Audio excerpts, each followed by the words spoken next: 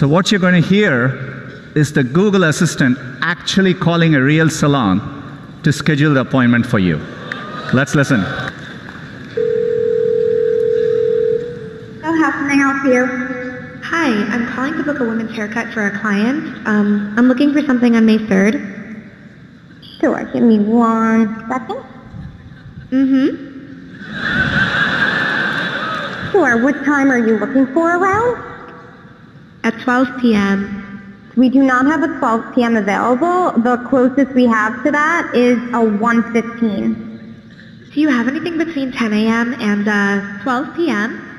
Depending on what service she would like. What service is she looking for? Just a woman's haircut for now. Okay, we have a 10 o'clock. 10 a.m. is fine. Okay, what's her first name? The first name is Lisa. Okay, perfect. So I will see Lisa at 10 o'clock on May 3rd. Okay, great. Thanks. Great. Have a great day. Bye.